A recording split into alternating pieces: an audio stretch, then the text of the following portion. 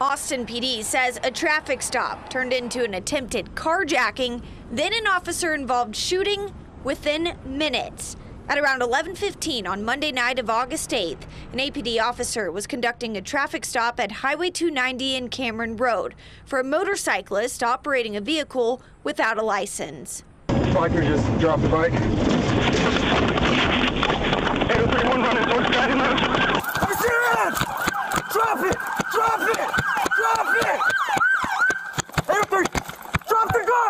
803, well, he's got a gun.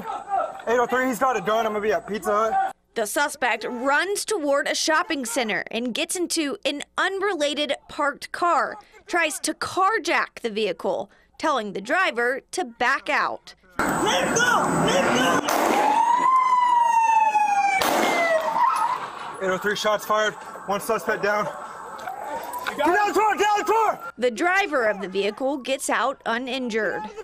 Hey, passenger, both hands out the window if you can hear me. The window. Crack the crack the door open. Both hands out the window. We want to help you. We see that you're hurt. We want to help you. Passenger, both, put both hands on your face. I do not want to shoot you. Please put both hands on your face. I'm holding lethal. APD officers then get the suspect out of the car and recovers the gun.